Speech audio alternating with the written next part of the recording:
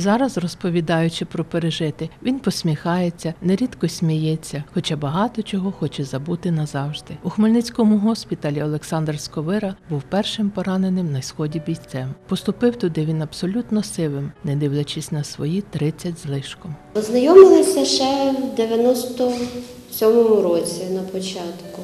Досі святкуємо. Ми, ну, ми швидко одружилися дуже. Дочка народилася швидко, Саша закінчував, писав диплом.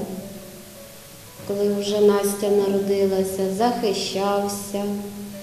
А військову кафедру він закінчив ну, до того. Я була вагітна, це серпень 98-го року, початок серпня, ну вже дату так не це, отримав своє офіцерського молодшого лейтенанта, офіцерське звання. І ну, на цьому його військова кар'єра повністю закінчилася. Тобто це був перший раз, що він там тримав зброю в руках і так далі повністю цивільні професії. Він торгував трішки, якби мав приватного підприємця, працював, де працював? Майстром зміни працював у кар'єрі. Багато їздив, так як всі, на жаль, в нашій країні по заробітках. Був і в Росії, був і в Європі, був і в Севастополі, до речі, ще в 13-му році. Ну, дуже гарно робив на момент, коли йшов в АТО. Ну, ще на той момент ми не знали, що в АТО що ще буде. Ну, ну тобто йшов захищати кордон з Кримом. Ну, був дуже гарний будівельник. Не сам будівельник, а ну, по ремонтам. Тобто це в нього вийшло. Ну, але таке в країні сталося. Ми на Майдані як такому ми там не ну, ми підтримували, ну щоб ми таку безпосередню прям суперактивну участь. Ми ну так під СБУ під нашим ми були в ніч, коли його палили. Пішов військкомат, сказав, що я таки є, я готовий. І буквально через два тижні да, прийшла повістка. Причому її не вручили, ми не отримували її на руки, перезвонили в телефонному режимі. Е, Ми перетелефонували дітям. І ось малий ну, без роз... ну, тобто Саша міг не йти. Ну, якби якщо так брати офіційно, тобто ми, ми вже збирали речі, там консерви, і якби це я машину в гараж погнали, а дитина забрала повістку, отримала на руки, і на ранок, на сьому ранку ми пішли в військкомат. Вам було страшно, вам особисто? Чи ви не думали, що На той момент ні. На, на той момент ще ну, не було війни. Можливо, якби це там було вже через декілька місяців. Та, а на той момент я взагалі готувалася, що він буде ну, просто захищати кордон з Кримом, тому що це був початок березня. Ось е, тому страху як такого не було. Ну а потім оце вже зав'язалося. Вони поїхали на навчання. Ну ну теж вроді так, якби більш менш все-таки. А потім він не розповідав, що у них. Коли він телефонував уже з Степанівки, Саша, що там? Хто, а то наші по безпілотникам стріляють. Ну, тобто, Саша стріляють, а то, то наші там відстрілюються, а то, то. Ну, тобто, в принципі, в мене такого, ну, напевне, оберігав, не, не цей, не знала, не було такого, не було розуміння. У мене розуміння вже війни прийшло тоді, коли вже ми його. Як ні, не Хмельницький привезли ще в Дніпро, тому що його коли обмінювали, це в Дніпро привезли, а я їхала вже з дому в Дніпро. Як справжній чоловік, Олександр скромний і небагатослівний, тож про війну розповідає неохоче, як і про те, що вже через два місяці після того, як його виписали з госпіталю, вийшов на роботу до міської ради на милицях. Через 4 місяці попали через Сонцево, вже іменно на біля Ставромогили, на Степановку. І далі виконували завдання. А як трапилось так, що ви отримали поранення? Ну, коли вже було дуже спекотно, скажімо так, е, по різні, різну інформацію надають. Ну, ніби, якщо вірити тій інформації, послухав, що це перший раз, коли пішли іменно е, русські війська, русські танки на Степановку. Не мали чим, скажімо так, боротися з танками. У нас був саперний взвод інженерно, саперний в мене. 12 годин ночі е, поступив наказ виходити з Степановки. Я був на першій машині, вів колону. І перша машина попала в засідку. Два хлопці зразу насмерть. Я питався трошки постріляти. Єдине, що зміг, рожок відстріляв. Потім тихенько мене зняли. Все, якось так. Зняли це снайпер. Не знаю, ну. Доки перезаряджався, отримав, я так зрозумів, всіх видів зброї, які в них був по собі. І от, шість кульових поранень. Як оказався спереді машини, я не знаю. Який шок був чи що вже. Лежав на боку, дивлюся, кров розтікається, руку підняв пальця, палець телепається. Ну і так, яскравий, не яскравий момент. Передо мною стає мужчина в такому світлому плащі, ну і по голові прикладом. Так, далі все туманно, туманно. Жінка підскочила.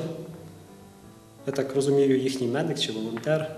Почала кричати: не рухайте, офіцер від больового шоку помре. Жгути понатягувала, обезболюючі вколола. Ну і вже коли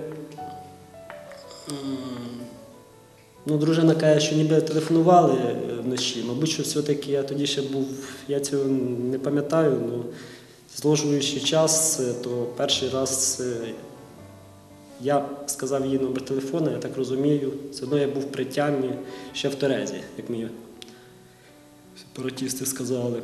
А другий раз вже я так реально зрозумів, прийшов в себе це в багажнику в Донецьку.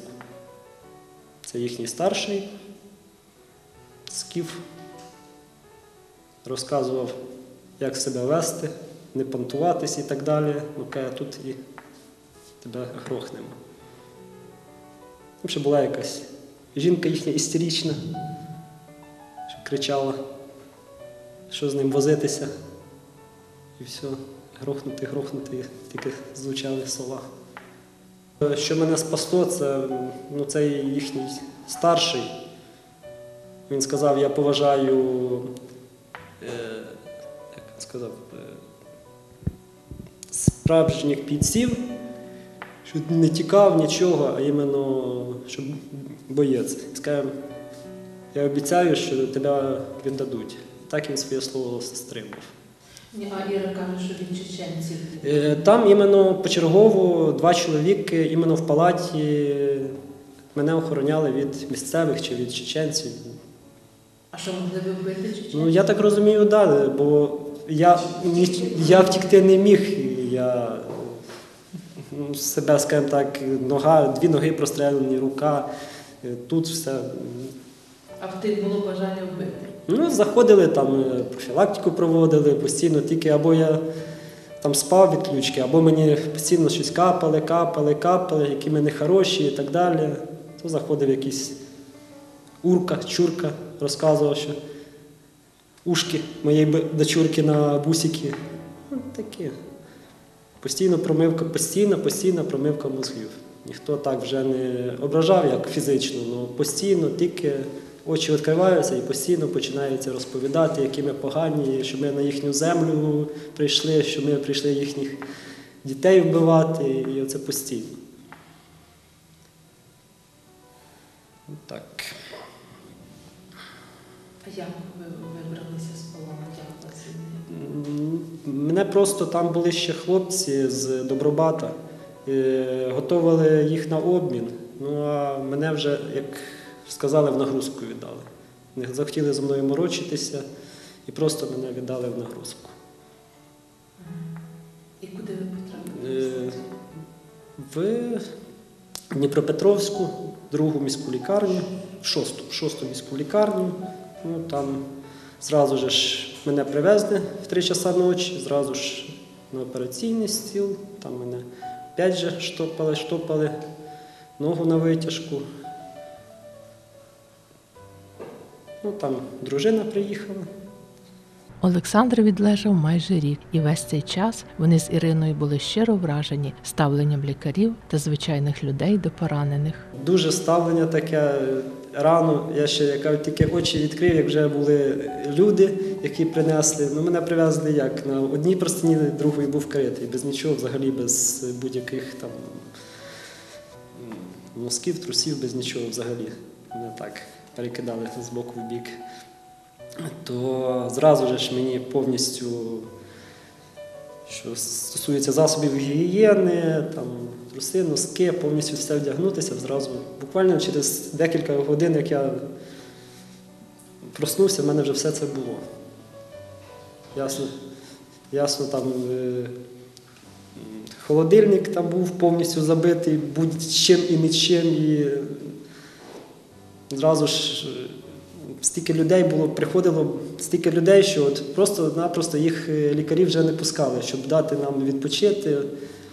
Там, ну так, дуже патріотично було, от як згадати, там прийшла е, мама жовто-блакитна, там вся одежа, і дітки так само. Це так. Тоді виглядало воно, ну, такий підйом був в душі. Розумів, за що, навіщо і чому там були. І дуже все так ем, емоційно було. Був у нас в місті ну, такий підйом патріотизму. 15-й рік перед Новим роком ветеринарна наша Раковиця, клініка чи поліклініка, як вони називаються. Люди не пішли святкувати новорічний корпоратив, а зібрали кошти. Це було без пафосу, без преси. Це було тихесенько, це було в кабінеті начальника госпіталя. Я і ну не знаю навіть, як цю людину звати, якби досі, тому що ну сказали, що ну підтримка потрібна, тому що ну, там кошти в нас там з- по зарплаті були нюанси, потім то ну розрахували, виплатили. Ну на той момент, ну тобто це ніколи в житті цього не забуду. Ніколи. Під час бою ви казали, що вбили ваших двох побратимів, а ви відстрілювались. Страх був чи тоді такий адреналін, що не відчуваєш? Страх, ну мені здається, в ті моменти просто для страха нема місця. Це вже потім, коли аналізувати, появляється там страх, можливо, там думки, як зробив би правильніше, так чи сяк, скільки думав. На той момент ну, настільки все автоматично йде. Олександр часто згадує загиблих побратимів, особливо двох хлопців, які того злощасного дня їхали з ним в одній машині. У смерть одного з них не вірить і досі. Ви оці два хлопці, що загинули з вами, це ваші побратими, ви там з ними познайомилися, чи ви їх раніше знали? Ні, це там познайомилися іменно вже на сході. Одного хлопчину е, взагалі тільки за рік е, по ДНК оприділили а, і привезли. До речі, в нього, ну це ми були тільки недавно. Він, е, ми 13, 12 13 в ніч, скажімо так, попали, він загинув. А 23-го у нього дружина народила донечку Людмилку. Він тоді рахувався, він майже рік рахувався безвісті пропавший. Я, в принципі, то, що бачив, я до кінця не бачив, що він загинувший. Там тільки такі. Так що стверджувати я не міг. Ще потім, ніби як по ДНК доказали, що це іменно він. І то. Можливо, все можливо. Треба надіятися. А у вас є надія, що можливо він і живий десь в полоні? Ну, спереду так, що все в цьому світі може статися. Я буду дуже надіятися, що він все-таки живий. Ну а коли казала та жінка, що помре від больового шоку, біль був, чи ви вже ви нічого не відчували? Ну, на той момент, ну, я би не сказав би, що тоді і біль там вже був. Там ну, таке воно було все якось, як в тумані.